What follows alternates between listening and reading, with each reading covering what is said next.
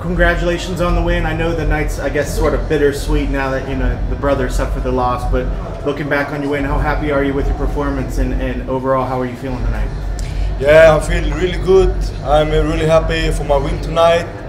Uh, I am uh, five and zero now in the UFC, and uh, my, I am I am in the, my in the, in the best shape ever. And uh, one day I'm gonna be the champion, UFC champion. Yes.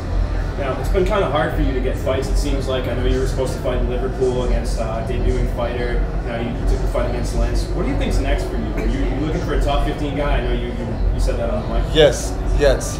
That's what I'm looking for, and I I, I deserve that. Is there anybody specific in mind that you would have, or just No, I'm ready for whoever they give me. Did the fight with Nik play out exactly like you uh, assumed it would, and did he surprise you with anything out there? No, uh, you know, I, I was expecting this from him. You know, we have I worked with my whole my team, what we're gonna working and what we're gonna do, and all the plan was perfect in that times. What was the game plan for him? That you that was you were seeing. Uh, you know, do my thing. Yeah. There was a sequence early on in the fight where you guys were against the cage, and Yeah. uh, your hand seemed to go up in Nik's face a little bit, and he yelled something, and there was some discussion with the referee. Uh, from your perspective, what was going on? Did you think you got him in the eyes? No, I don't know what he was saying about it. No. How soon do you want to get back in there? As soon as the UFC give me a call. Yeah.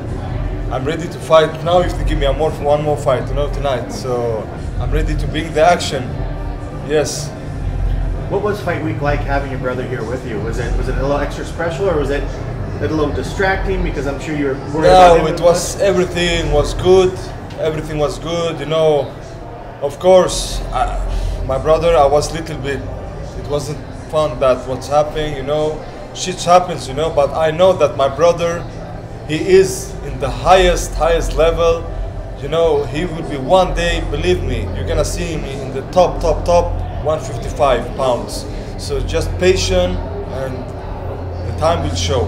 Daniel Teymur, he is a fighter that you know that, that, this this this uh, you know uh, UFC show. You know the, the people love to see style. You know, and uh,